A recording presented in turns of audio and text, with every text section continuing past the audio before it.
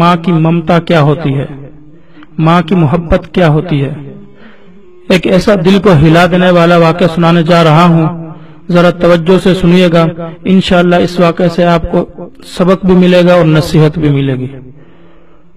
دوستو، ایک سولہ سالہ لڑکے نے اپنی ماں سے کہا کہ، ممی، میری عمر اٹھارہ سال پوری ہونے والی ہے، تو آپ مجھے گفٹ میں کیا دو گی اس کے جواب میں ممی نے کہا، بیٹا، اگر میں نے پہلے سے گفٹ کا بتا دیا تو مزہ نہیں آئے گا.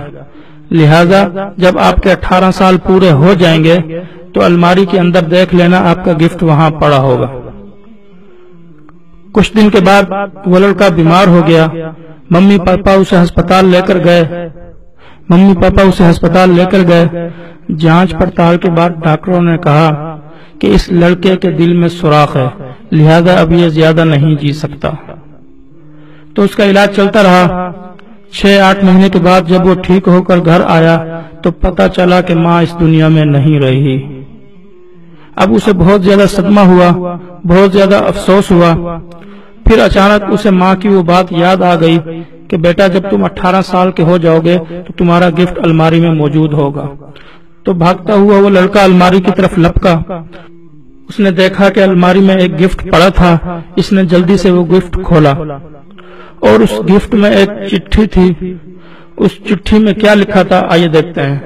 اس چٹھی میں لکھا تھا کہ میرے جگر کے ٹکڑے، اگر تو یہ چٹھی پڑھ رہا ہے تو تجھے یاد ہوگا کہ جب تو بیمار ہوا تھا، تب تجھے ہسپتال لے کر گئے تھے۔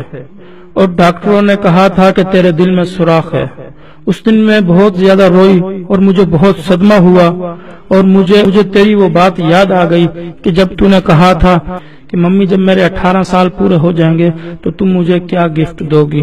تو بیٹا، آج میں تجھے اپنا دل دے رہی ہوں، لہذا اس کو ہمیشہ کے لیے سنبھال رکھنا۔